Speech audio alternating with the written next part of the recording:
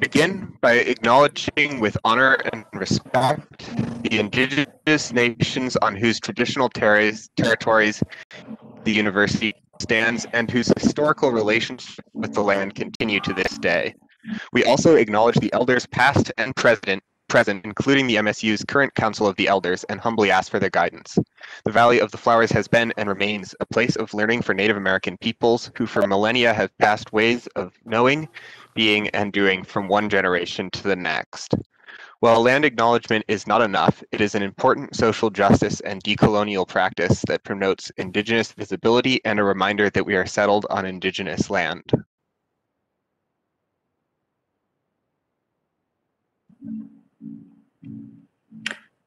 And All right. that, I think we'll pass it off to you.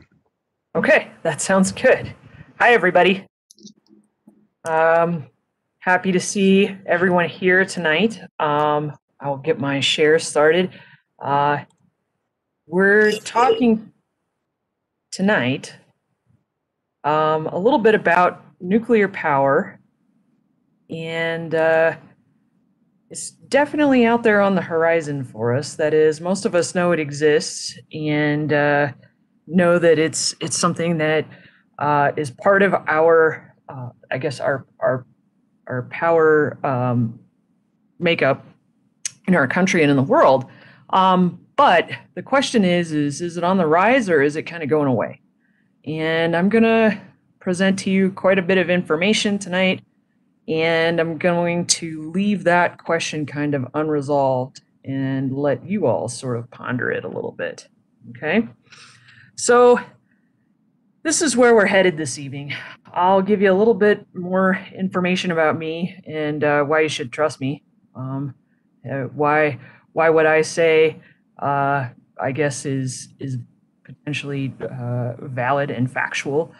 We'll learn a little bit about nuclear fission for those of us that aren't physicists, like some of my uh, students in in nuclear age class have been.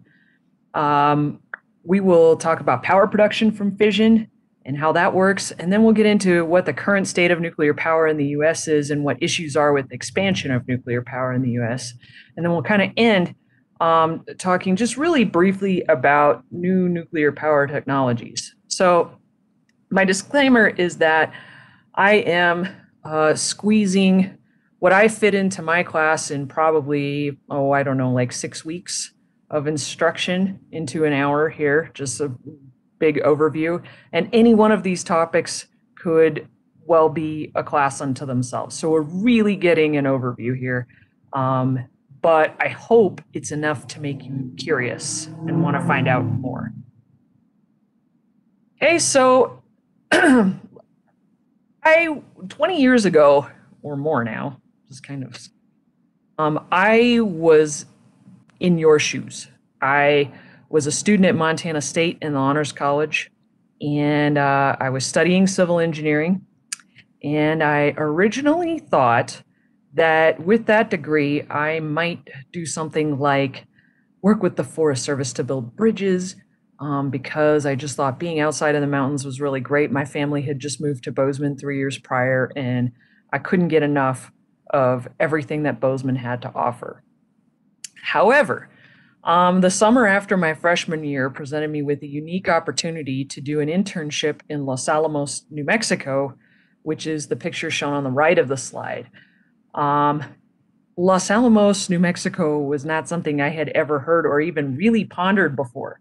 Okay, so I knew vaguely about the Manhattan Project and that it had taken place there, um, but I didn't know anything about the area, didn't know anything really truly about was what the lab, Los Alamos National Lab, really did. Um, but I went for it because, you know, as a freshman in uh, in school, it was pretty unique to have an internship opportunity, and I just I dove in. Okay, so it turns out though that this internship really changed my life, right? So I went from thinking I might want to design these bridges for the Forest Service. That was the, my limited view of what I might do with my degree at that point. Um, to whoa, I could work at this national lab. This place is amazing. Okay, I interned there from 1998 to through 2000 in the summers, and I think I even took a semester and did like an internship semester Then I got my master's at Virginia Tech in engineering mechanics, and then came back and worked at the lab uh, full time in their weapons analysis group as a technical staff member, because that is really a lot of what Los Alamos does now, which is stewardship of the nation's nuclear weapons stockpile. So I worked there until 2007 when my family and I, which at that point consisted of myself, my husband Steve, and our daughter Claire, we decided to move back to Bozeman. So I spent quite a bit of time at Los Alamos. And um, just by the nature of being there, you start to get really curious. Um, there were bits and pieces of history just everywhere. Okay. So, you know, I obviously learned a lot more about the Manhattan Project because you could not not learn a lot more about the Manhattan Project being there and, and in, uh, in Los Alamos itself. Um, the pictures I'm showing here are uh, Robert Oppenheimer's residence, which was a place we passed by regularly on our walks um, when my husband and I first got married. Um, this picture on, sorry, I, I'm assuming you guys can see my cursor. Is that right, Teddy? Can you guys see my cursor? Okay, good. Okay, um, the picture on the top left is of uh, Gunsight, and that is where they did experiments for Little Boy, um, the nuclear weapon that was uh, was was dropped during World War II, the the first one, uh, and then the bottom picture is uh, V-site, and that is where Fat Man was stored for a while. And these have become part of oh, there's a national parks, a national uh, like a registry of historic places, but they're back in classified areas, so you can only go see them every once in a while. Um, and they're trying to get money to restore these places, although I would almost guess that they didn't really ever look a whole lot better than what you see there. Um, they have, were always just kind of getting by on on crummy buildings and whatever they could. Okay, so really lots of cool history there. Uh, started learning about the history of the weapons program. Um, I myself was involved in that um, and started just asking myself lots of questions. Uh, oops. Okay. So eventually, I became really interested in all things nuclear because you cannot have nuclear weapons without nuclear power, and you can't have power without the weapons, and they're just very much entangled with one another. Okay, that those two scientific histories are very, very tangled up. And so there's this amazing scientific history that led to the Manhattan Project and there was you know the role that that played in world war ii and then subsequently the cold war. We spend a fair bit of time in my class talking about those things. I'm giving them a bullet point tonight but they're fascinating okay? It is a really amazing history. Then of course the tangled history of weapons and nuclear power. Um, because like i said you can't have one without the other. And then the complicated relationship ordinary people have with the word nuclear, and then how that relationship varies from generation to generation, maybe even from demographic to demographic. Um, there are a lot of people in New Mexico that are not huge fans of the national labs and, and what their mission is. Um, the, the role that nuclear power could and does play in our clean energy future in our country. And then the problems that are created by nuclear waste, which are many, to be fair and, and then loads more. I it's like geeking out on this stuff is like my favorite thing to do. Okay, so I'm going to ask you guys and people that have taken my class, no fair answering. Um, what is the picture shown on this slide? Anybody know? Anybody? Anybody? It's very quiet out there. Teddy looks like he's barely restraining himself. This is CP1, Chicago Pile 1. Okay. And that is the first um, self sustaining, uh, controlled nuclear reaction that the scientists were able to do as part of the Manhattan Project. That's a ginormous pile of graphite, like think the stuff that's in your pencil, but pure graphite. Um, so super messy, and this guy standing next to it is really, really dirty. And I looked many places to f- try to figure out who this gentleman was, and I could never find a somebody referencing who he was. So I'm guessing he is just a a worker who was stacking graphite for the pile. Um, but at any rate, we'll talk more about that in a couple minutes. Um, so yeah, that's kind of uh, it's it is a beginning. It is not the beginning. So let's talk for those of us that aren't necessarily familiar. I'm going to just give a brief overview of nuclear fission. And in its most basic form, we have it sketched here on this blackboard-like graphic. We have a neutron that hits a fissile uh, atom or element, atom, atom of uh, uranium in this case, U-235. That U-235 fissions or splits into two not quite equal nuclei or roughly close to equal nuclei, um, and then also releases some extra neutrons. If you sum up the masses of those nuclei before and after this reaction, they're not quite the same. And that little tiny difference is the energy that is released. That's Einstein's equation, right? That we can convert mass to energy. So here is that sort of graphic a little bit again um, that missing mass is converted to energy. Okay, and so it's that that energy, that heat that we harvest either in a really controlled fashion to produce power or in a very uncontrolled fashion to produce a weapon. Mm, we say uncontrolled. I think I would prefer to re- say that it is uh, released very rapidly, I suppose. Okay.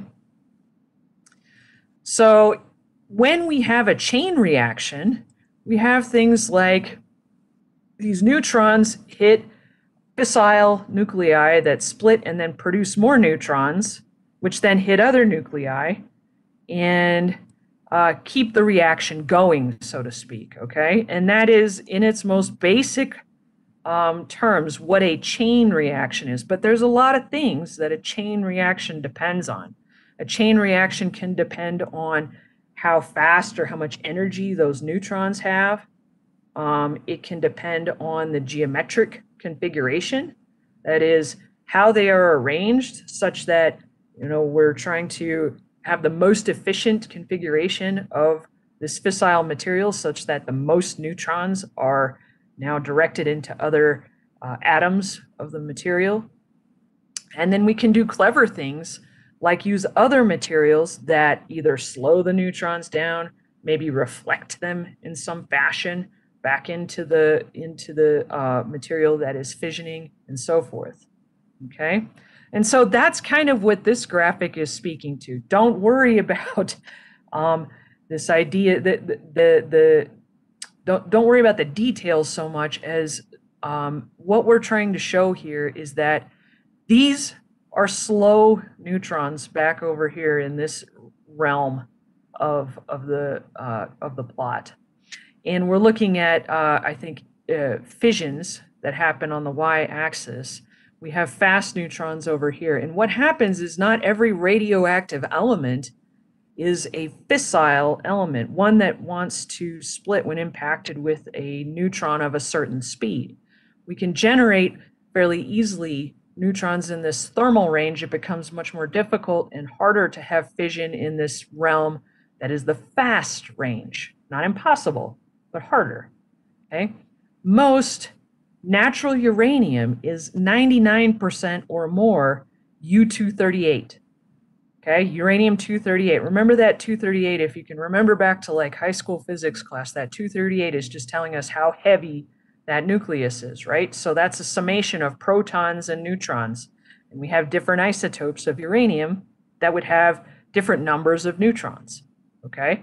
And so these elements that are fissile, some of their isotopes are fissile in different ways, okay?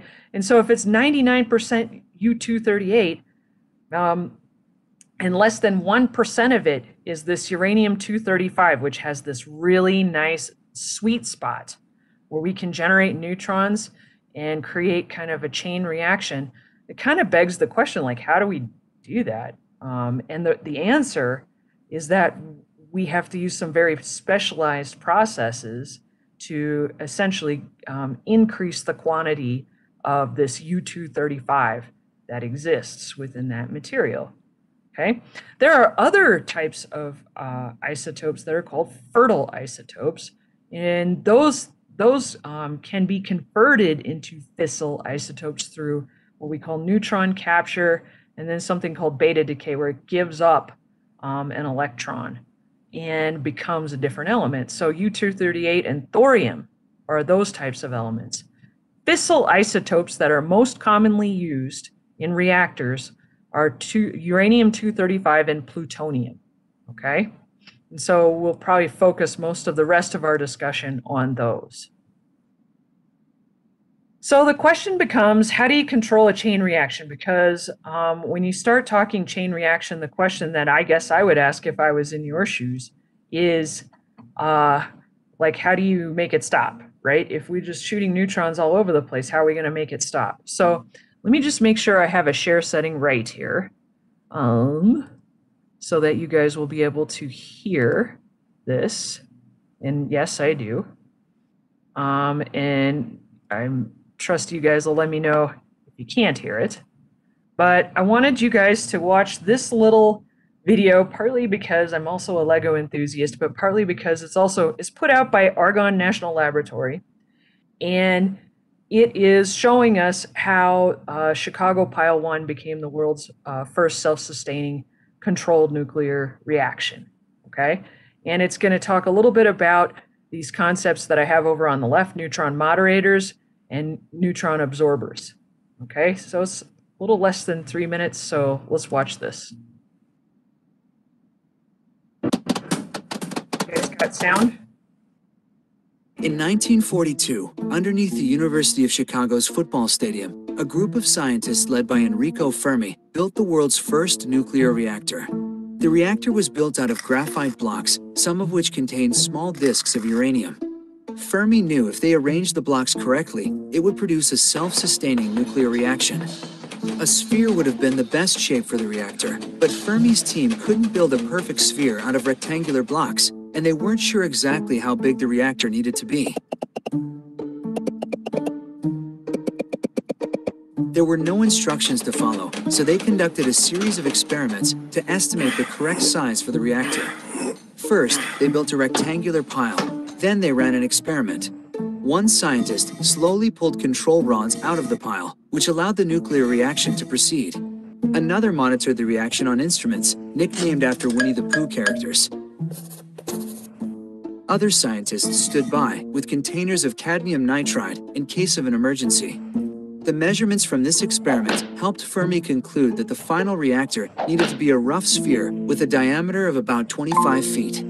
They took apart the experimental pile and began construction on the reactor, which they called Chicago Pile 1. As the pile grew, the team repeated the same experiment again and again. The data from these experiments allowed Fermi to conclude that the reactor didn't need to be built all the way to the height he initially planned. After the 57th layer of the pile was in place, Fermi called construction to a halt. On December 2, 1942, Fermi assembled the whole team to watch the experiment. That morning, they pulled out the control rods as usual. The Geiger counter beeped faster and faster, indicating their goal was close. Fermi knew that with one small adjustment, they could run the experiment again and achieve their long-anticipated goal. So, he called for a lunch break. After lunch, the experiment resumed.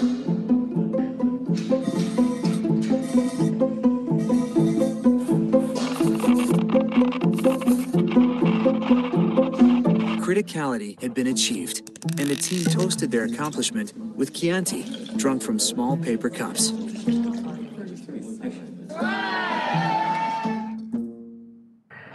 Okay.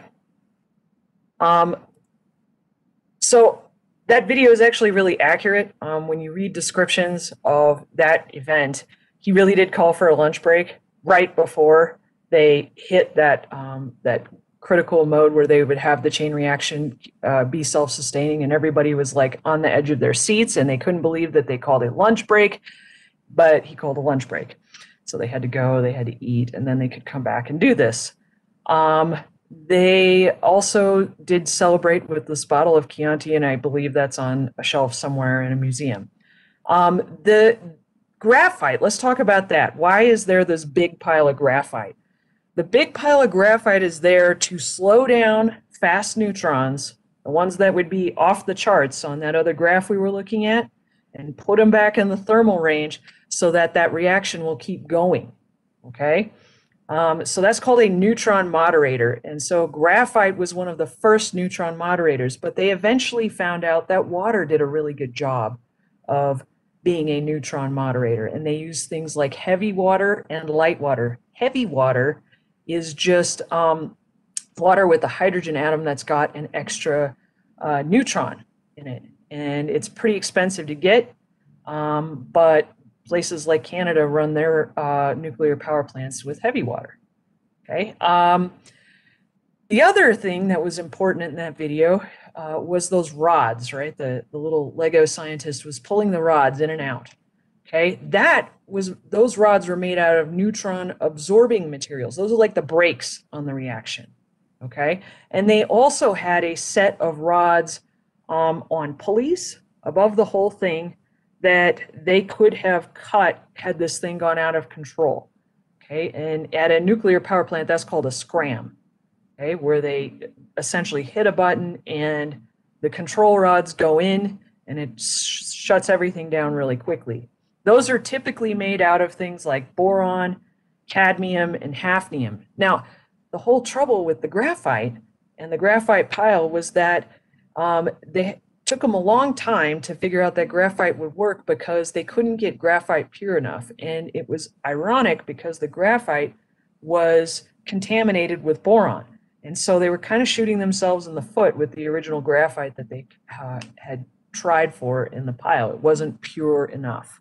So interesting stories there. And these concepts, which date all the way back to the Manhattan Project, are not radically different from what is done in a nuclear reactor today, okay, or a uh, power plant. Okay, so let's talk now about how do you get power from nuclear fission. Okay, well, in order to understand that, you have to understand a little bit about how a thermal power plant works. Um, and maybe I th- this is not necessary, but I love this diagram because it's nice and detailed. But we're burning something, be it natural gas, oil, coal, or I'm not sure if that is supposed to be wood pellets or what, but we're burning something in here. Okay, we're heating water in a boiler, and then that water is generating steam, which turns a turbine or, or an alternator and then a turbine, and then generates some uh, electricity via the transformer okay? Um, the waste heat is sent through a condensing unit. And so oftentimes what you see coming out of a power plant isn't necessarily anything bad. And I'm talking now about non-nuclear power plants. Non-nuclear power plants have condensers. And oftentimes what you see going up into the sky is steam. However, okay, there's exhaust from this burning process, right? There's there are products that result from that combustion reaction that also have to be vented. And that's what's happening over here. Okay, and they clean it. They use electrostatic scrubbers and they do different things, but we are still sending up things into the atmosphere that are not necessarily real good for it. Another thing to note is that thermal plants that use water or steam as the working fluid, the thing that is providing the power, doing the work, they have to be located near a water source. Okay. And so they are both taking water out of that water source and they're also injecting their wastewater back in. This is water that wouldn't have touched anything. It's cycling through these independent loops. It's not touching the stuff that they're burning, but it is getting injected back into the environment. And so you can have issues with this water being too warm for the, the area that it's being injected back into. Okay. So some really great things about our thermal power plants. They work really well, right? Especially when they're not frozen over, like recently happened in Texas. Um, and they are generally very consistent at providing baseload power.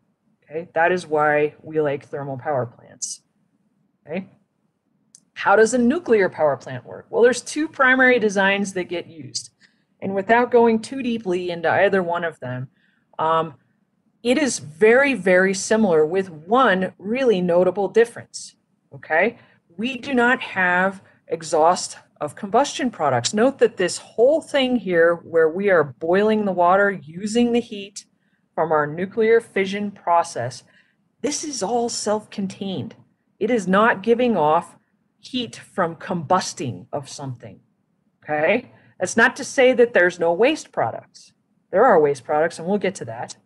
But we've got this whole thing being self-contained and so we can heat the water, whether we do it in a single loop here, as is shown in the boiling water reactor, or you can have something called a pressurized water reactor, where you keep that water under high pressures so it gets to higher temperatures before it boils, and in theory is more efficient. Not in theory, in practice is more efficient. Okay.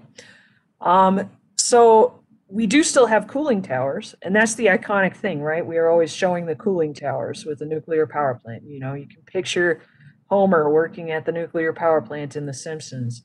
You can picture, you know, all of these iconic pictures of cooling towers, but you have to be careful because sometimes what you're looking at, you just Google that, is not necessarily a nuclear power plant. It might well be just a regular old, you know, coal power plant or something like that, right? They they all have cooling towers. Okay. And that what's coming out is steam. Okay.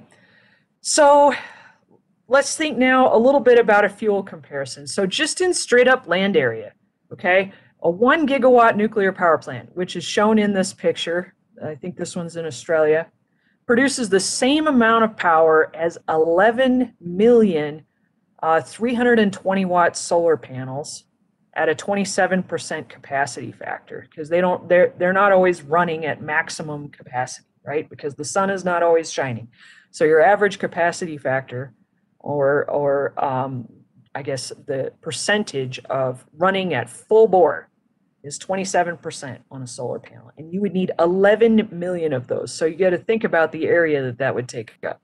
Or it would be 939 wind turbines. These are three megawatt turbines. They run at about a 33% capacity factor. A nuclear power plant, it's not atypical for a nuclear power plant to run at a 93% capacity factor. That means it's running at very close to its maximum energy production all the time, which is pretty darn cool. Okay. So it is in some ways much more uh, area efficient, I would claim, than um, some of these renewable technologies that we would generally think of. Then, of course, when we compare it to some of our non renewables, uh, oil, coal, and gas, right? One 10 gram uranium oxide pellet, it's not that much smaller than what I've, or larger, I mean, than what I actually have shown there. A 10 gram uranium pellet, guys, is like the knuckle of your thumb. Okay? It's that big. It's tiny. Okay?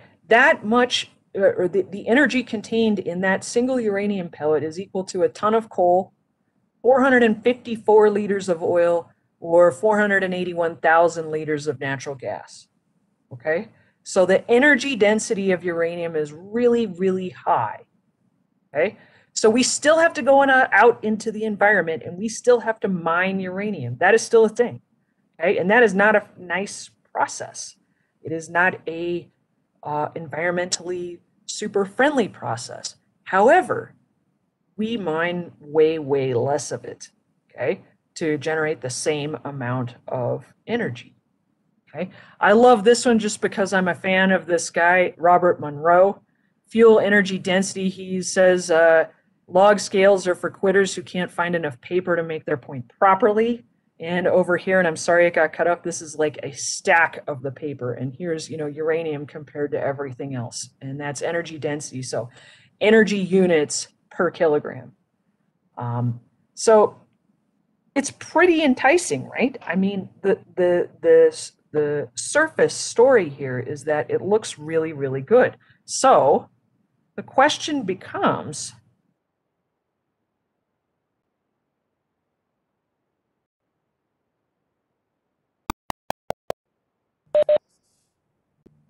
Oh, you froze there, Mandy. oh, oh, oh, oh. Any better? You're back. back? think that's. Am I back? Good. Okay. Sorry. All right. I, I get all excited here. Um, okay. So here we're looking at uh, uh, CO2 emissions comparison, and you can see that nuclear is right here with uh, hydro, wind. Um, solar is actually more um, because we're looking at carbon footprint and you know mining those materials. I think as well. Uh, so that is really interesting to me. So let's take a look. Here's the current map of nuclear power plants in the United States. Okay, there are 97 plants that are licensed to operate. There are none in Montana. In fact, none in the Rocky Mountain West, not even commercial reactors in New Mexico, where we've got our national lab and actually the only functional waste repository in the United States, and none in Idaho. Uh, no commercial nuclear power plants in Idaho. There's quite a few research reactors in Idaho, but no commercial reactors in Idaho. So that's kind of the, the geographical landscape. Um, let's take a look at what that means uh, in terms of other numbers. Whoops. Okay, there we go. So the, the US produces 30%, fully 30% of the world's nuclear power. Okay, and more power from nuclear energy than any other country in the world. What's the country that we always think of when we hear about nuclear? I actually always think about France. Okay, we always hear about France is uh, being energy independent, generating uh, most of their power independently via nuclear. Um, and that may be the case, right? They may have a higher percentage of their uh, energy portfolio wrapped up in nuclear, but we flat out produce more gigawatts. Okay. Um, it is 55% of our clean energy portfolio. It is considered a clean energy, and I think I just showed you why. Um, but here's the kicker the average age of power plants in the United States is 39 years old. They are an aging fleet, folks. The oldest plant that is still operational is the 52 year old uh, Nine Mile Point plant in New York. And the newest functioning plant is Watts Bar, built in 2016. So that's four years ago. That's not, or five years ago now. That's not super recent. And so what I want to show you on this plot is like that we had this real surge, right, in the say late 60s through the 90s maybe, or maybe really late 80s of building nuclear power plants in our country. And we were adding, adding, adding capacity, and then all of a sudden it just kind of stagnated and went pretty flat. And the question is, why? Why do you think that is? Does anybody want to chirp up? I don't know what the standard protocol is in these things, but anybody got a guess as to why?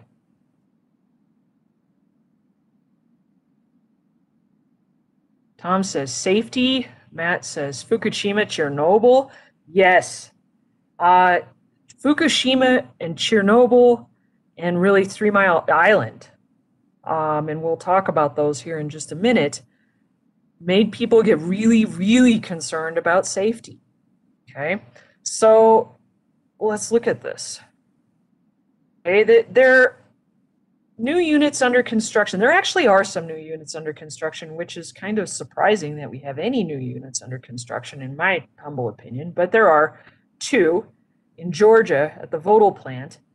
And that's a picture of um, the the top of the reactor unit being lowered into place. That's apparently kind of an innovative design. I wish I could tell you more about it. Um, of the 53 nuclear power plants that are under construction around the world, that's 53 around the world, only two are in our country. Okay. Um, and so, you know, there there, there's got to be something else behind this. And yes, safety is part of it, but safety in turn has driven some economics. Okay. And I want you to first take a look at this very simplified economic analysis. Okay. And okay, I'm I this that I can't give you enough disclaimers for this. Okay. This is super just very, very simplified, but it does give you an idea of relative magnitude of costs and payback times. So the information we've got here shows us that nuclear is fully five times as much in capital costs to build as a natural gas plant. Okay, five times more than natural gas. Okay, and we're talking in the billions of dollars too. So by the time you take out a loan on those $5 billion, okay, that's going to be, that's a huge amount of money. Okay. Fuel costs, though, are way, way, way better. Okay, 64 million versus 450 million per annum. Okay, because we have such a much higher energy density in our uranium fuel rods. Okay, we have run that with say 3% interest for 25 years. Let's just guess that our loan is something like that then your interest, your interest payment per year is 285 million for nuclear and 57 million for natural gas. It takes, on the optimistic side of things, six years to build a uh, nuclear power plant. It takes, say, roughly two years to build a natural gas plant. Okay, you can sell electricity when you're done, so you do get income, right? It's not all bad news. You let's say you sell a thousand megawatts.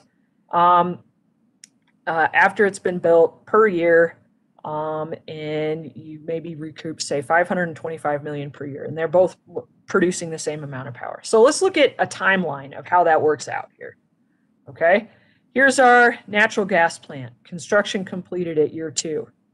Okay, natural gas plant becomes profitable at year four. By the time you track how the in the money ins and outs go over the years, okay, the nuclear power plant is completed at year six.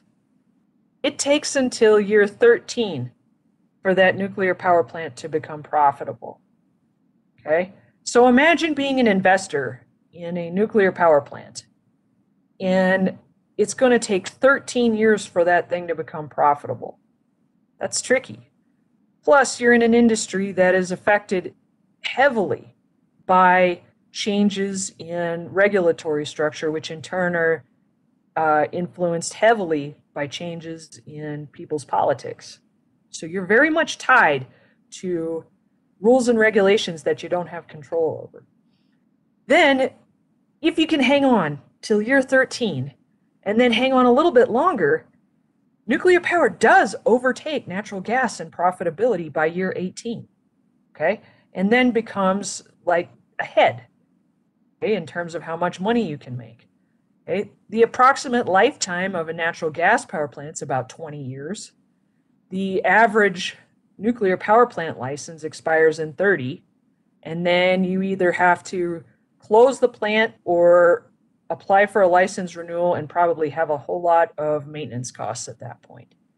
Okay, so dang, it's really, really tough. Okay, uh, to, to not even think of this as just like an independent investor, um, but even for these very, very large power conglomerates that would be investing in nuclear power to supply power to a large area, um, you're in it for the long term and you're subjected to the whims of uh, federal regu- regulations and then also the just essentially the people around uh, the area where you're building the plant and their opinion. And think about all these folks that maybe had something that was in the works, and there were a lot more licenses in the works before Fukushima happened.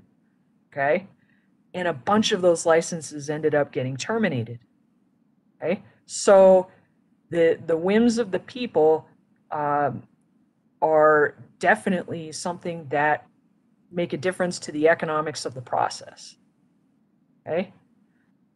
So other bar- barriers to, to nuclear power in the United States are that we don't have a good long-term solution for waste.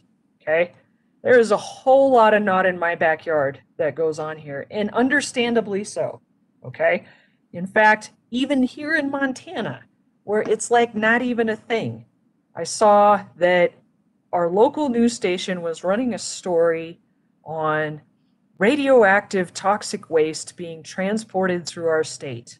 Okay, so likely this is potentially uh, low level waste from Idaho labs being transported down to WIPP, would be my guess. WIPP is the only functional repository in the United States, it's in southern New Mexico. And mainly it takes low level radioactive waste from the national labs and stores them in dry casks far, far underground um, in a salt bed formation, far, far away from people. I digress though. What we do have is a defunct um, site that the federal government had originally basically edicted was going to be our nuclear waste repository in Nevada, Yucca Mountain. Okay.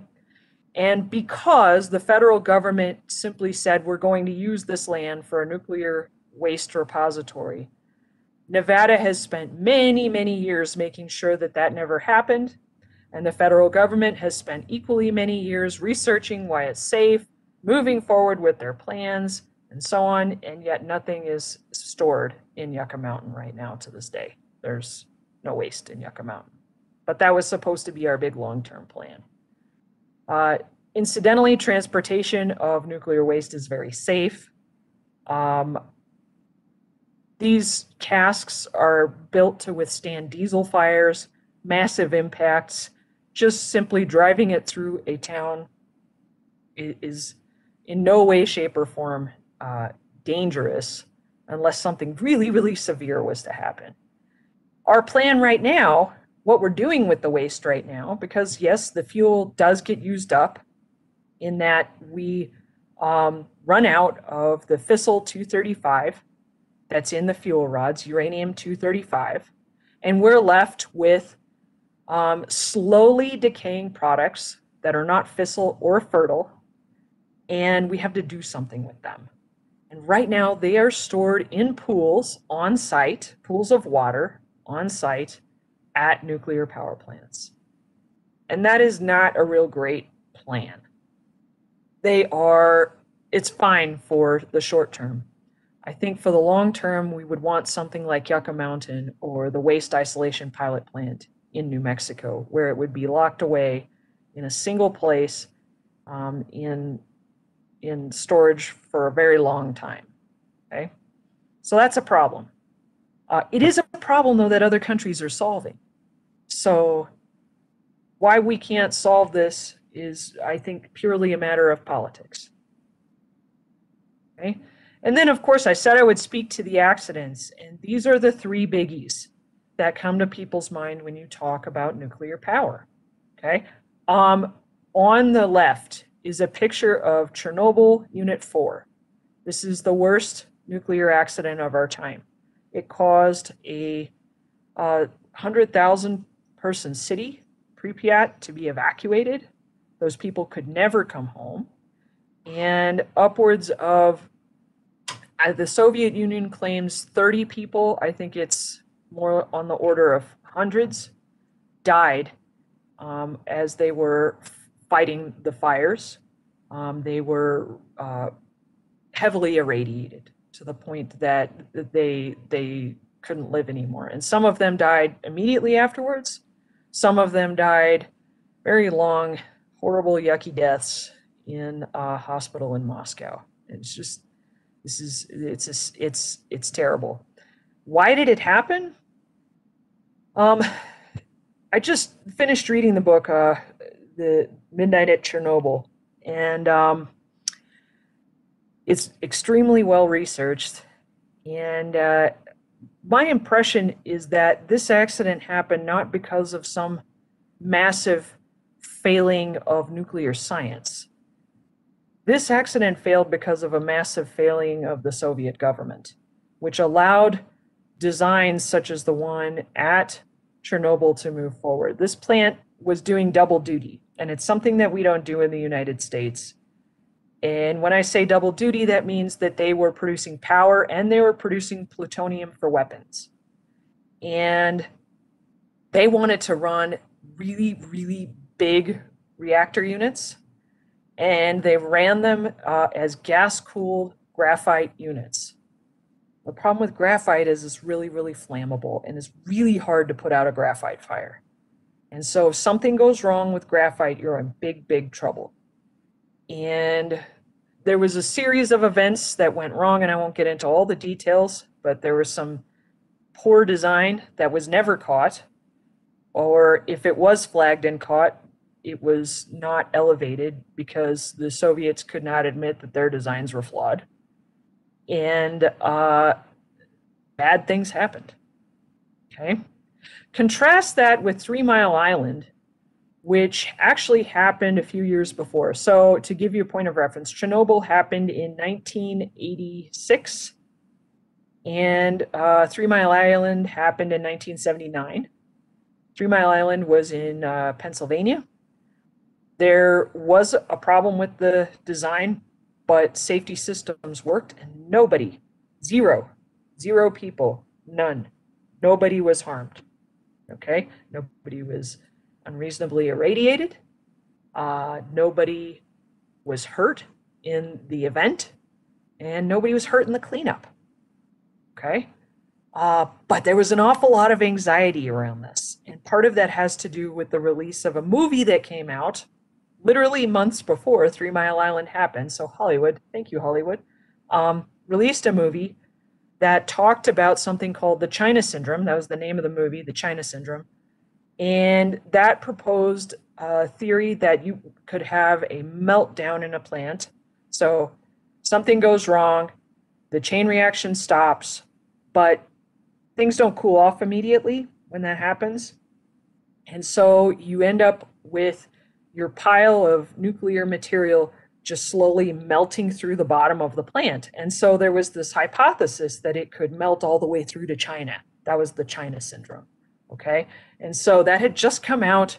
This is a very angsty movie. And then something happens at Three Mile Island, and man, people got very worried because, of course, we didn't have complete transparency from the, the power plant or the government initially, um, which would really be the best thing. But for some reason, in every accident you read about, that almost never happens.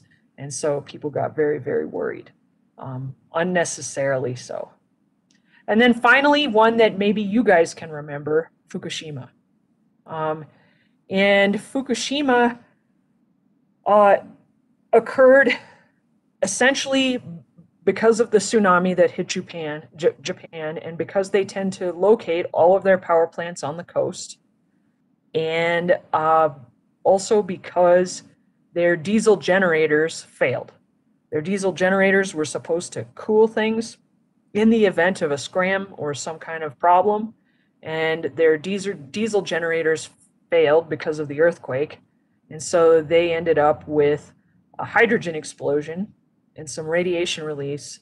However, again, I, I, I don't want to minimize this, but um, while there was radiation release that was above background radiation, and one person was uh, I, I believe, killed in that incident, um, it was nothing compared to Chernobyl. Okay, just it, it, it, they're still they, they are still taking care of this site that does happen when we have irradiated sites.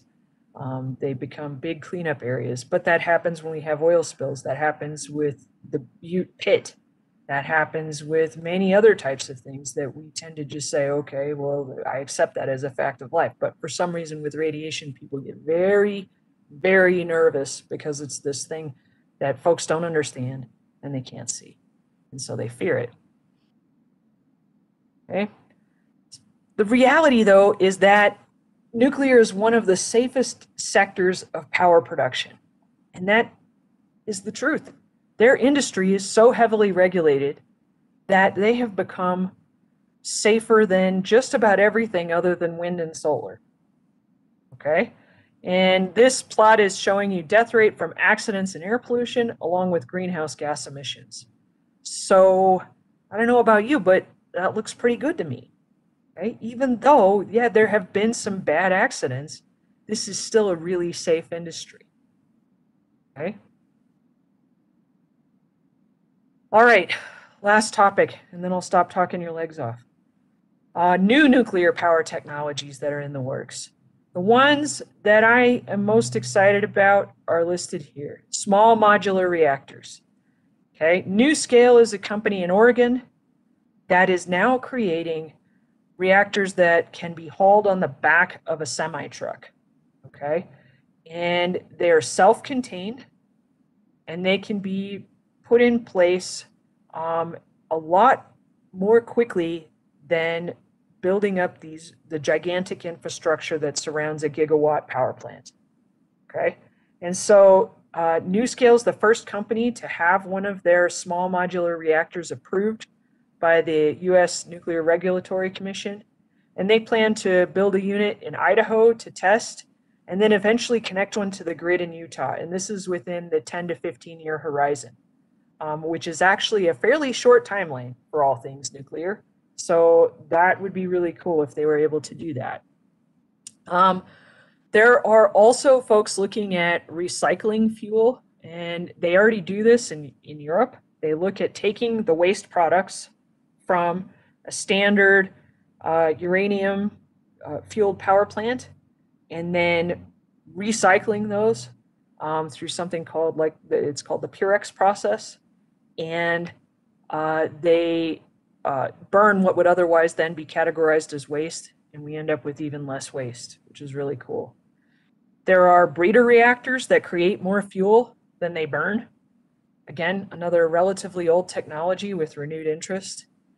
And then finally, molten salt reactors, which, if you think about that term, molten salt, okay, so you're running liquid like metallic salt instead of water as the working fluid in these in these uh, reactors. It's that's just really crazy to me. Um, not as the working fluid, but as the um, uh, moderating fluid. And that that interest has surged because it can be used with thorium. Thorium is of interest because it's more abundant in nature than uranium. And uh, you know, even uranium, which is actually really plentiful, uh, is of limited supply. So they're already looking at ways that we could extend the lifetimes by running things like thorium. So uh, that, that's I think that's pretty fascinating. And then finally, finally, finally, um, fusion power. And maybe you've heard of something called the ITER project, which is in Cadarache, France. Um, the ITER project is trying to run one of the largest tokamaks. A tokamak is a donut shaped structure that is built to run uh, or create plasma within it. Um, and so it has to generate extremely high temperatures and pressures. And it does so with a toroidal magnetic field. So imagine gigantic donut shaped magnets. And this is roughly what I've shown as a cutaway of one of these tokamaks. So this is very much like what would be run at ITER, except this is far smaller. The ITER tokamaks are huge. Okay. And they're running that as an experimental structure so that scientists can study all the different parameters that make fusion possible. ITER has been going since, oh, I think around 2001. And they are projected to be functional, I think, in the next five to five five years ish. I haven't checked in on their site in a little while, um, but it's a slow, very very engineering heavy process that is a multinational effort to try to get fusion power um, a place where scientists can study it. Now, in the meantime, we've had all these little fusion startups here and in Europe that have decided that they can do all of this far quicker than ITER. And uh, there are some pretty big deal folks that are backing these. Uh, Commonwealth Fusion in Massachusetts is the one that I have shown here. And they think that they can get um, ignition with more power out of their tokamak than what they're putting in to create the conditions for plasma. That's what they need in order for this to be viable. They think they'll be able to do that in the next few years.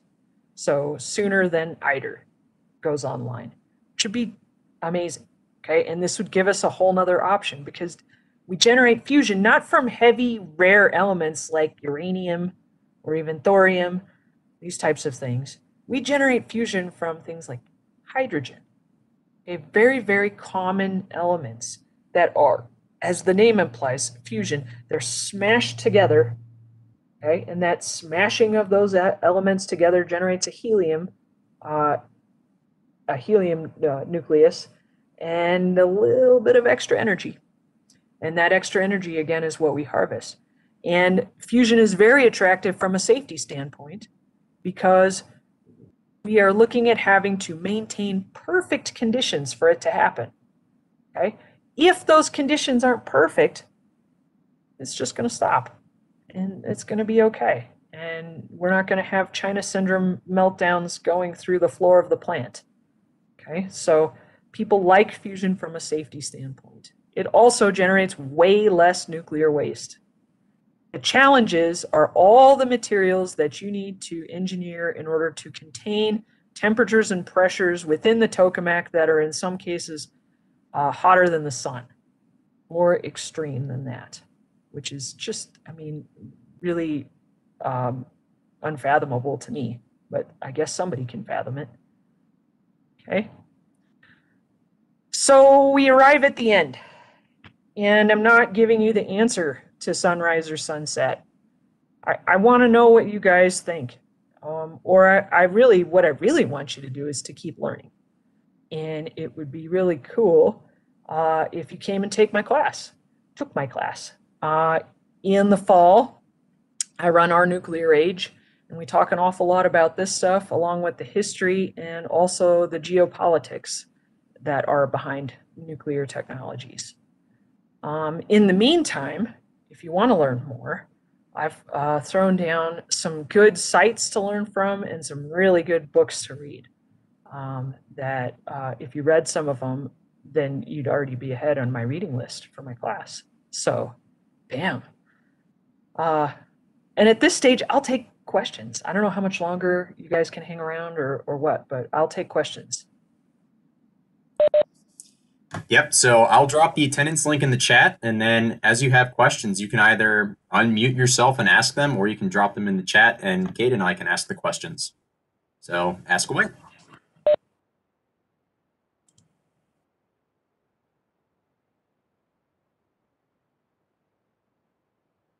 It's like drinking from the fire hose there, huh?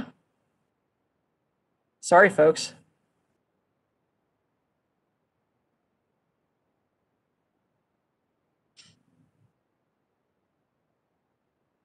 All right.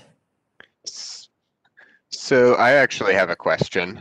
Um, so one of the kind of technologies, it's been a w- around for a while, but it's just kind of coming into light, is using nuclear power for space travel. And I was Oh, curious yes. if you had any opinions on that. Oh, I have opinions on that. Of course I do. So there's a few different ways that we could think about um, nuclear power for space travel. One is um, these uh, the like the nuclear battery that is on Perseverance, right? Uh, what is it? MMRTG, uh, I think is what they call that. Uh, micro modular radioactive thermal generator or something along those lines. And that literally uses heat from plutonium um, to generate power uh, using uh, uh, an electric effect through thermocouple, thermocouples. Okay, and so that that happens quite a lot, right? And that's been around for a long time. But I think what you're getting at is uh, using nuclear explosions to provide momentum for some kind of interstellar travel. Is that the one that you're thinking of? That's one definite. That's definitely one of them, or not even for interstellar, but like interplanetary. Or, or even interplanetary travel, yes. And so that was dreamed up by Manhattan Project scientists back in the day, and they even pursued it for quite a really long time. Um, but eventually it was taken off of the table, I think because you have to get it up into space, and there are too many risks with having some kind of accident between here and space. That's one problem, right? Um, that's the same problem that we encounter with. Uh, I have folks that always say, "Why can't we just shoot our nuclear waste into space?" Um, and that's that's a big problem, right? If we have an accident on the way to space, we spread radioactive debris everywhere. Um, you know, and and so I think it's back on the table, right? Because we're looking at going to all of these different places now, maybe a lot more seriously than we have been in the say the last 20 years. So that is a really unique technology and they essentially are sending a nuclear bomb out the back of a spaceship and have a giant metal plate that harnesses the explosion momentum which is really hard for me to understand how all of that works in outer space right and um, and then they are each time they blow it up, they're gaining speed, gaining speed, gaining speed, and so it's a way for them to go a lot faster. Um, so definitely, I think it's called Project Nerva. Isn't is that right, Teddy? Teddy's my man that always knows of all of these projects. Nerva, I will say I Nerva was all of them, the, but go ahead, What's Kate. that? uh, I think Nerva was the nuclear thermal one. Project Orion was the pulse. Okay. Yes, I've heard of Project Orion and Project Daedalus for the Pulse, and Nerva is the nuclear thermal rocket. Okay, gotcha. Gotcha, gotcha. Okay, let me look at the chat. I had somebody ask what containment method does a tokamak reactor use? And that is what I was talking about a little bit. It's essentially, it can be different shapes, but the most commonly used shape, it's um, it's a donut, a hollow donut, if you can picture that at all. And uh, it's a magnetic coil wrapped around the perimeter of the donut. Okay, and that is how the plasma is contained. Um, I don't know exactly how that works, um, but I do know that those magnets are uh, ginormous for ITER and have had to be very specially engineered. Um, and that anything that contains a plasma has a whole host of material engineering problems that go with it. So, yeah, it's a good question to ask. Like, what are the other materials that are in there? I don't know, but I know they have to be specially engineered to contain that plasma. Um, Maeve, you had a question. You said, I'm wondering, is there a way to re-stabilize nuclear waste or is there research ongoing in this area? So, um, also a very good question. Nuclear waste is, it's, it is, I, I don't know if unstable is the word that I would put to it. It is decaying. It's radioactively decaying. Okay. And so it's got to decay from uh, through a series of radioactive elements until it gets to a stable element. And to my knowledge, there's no way to accelerate that process to like say, hurry it along. Um, the best we can do is to uh, do something like like this Purex process where we can utilize more of those sort of in between elements to generate power. Do we think it will be feasible to build a nuclear reactor on the moon? Hmm. That's a really good question. I would think it would be feasible to build a nuclear reactor on the moon. I think that the barriers there are simply getting uh, the materials in place. But I don't see that the moon, the environment of the moon itself would be a barrier. But don't take my word for it. Ask NASA or do, do a little research. Um, Tom, you asked, can nuclear power output be adjusted easily? Oh, heck yeah. Nuclear power output can be adjusted quite easily um, through use of the control rods. Now, it, okay, I say easy. It's not like, um, what do I want to say? It is a fine tuned process, okay? Tuning the control rods. Because if you're familiar with any type of a control system, even your house, right? Think of your thermostat, okay? You turn the heat up or down on the thermostat, and there's a lag period, right? And that lag period is, you know, the thermostat works, gets to the temperature you want, maybe it overshoots the temperature, and then, you, you know, it kicks off again. Same sort of thing happens in any power plant, okay? But it can be particularly touchy in certain types of nuclear power plants, okay? Um, but they can indeed control the power output and they're doing it all the time. Okay, that is what those people in the control room are there to do. Okay. Other questions?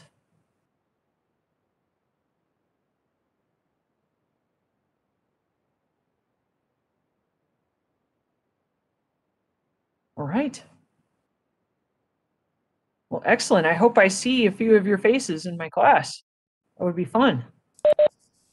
I took Mandy's class, and I can attest it is a really fun class. I learned so much, um, and it's an excellent way to interface science and technology with history and politics. So I highly recommend it.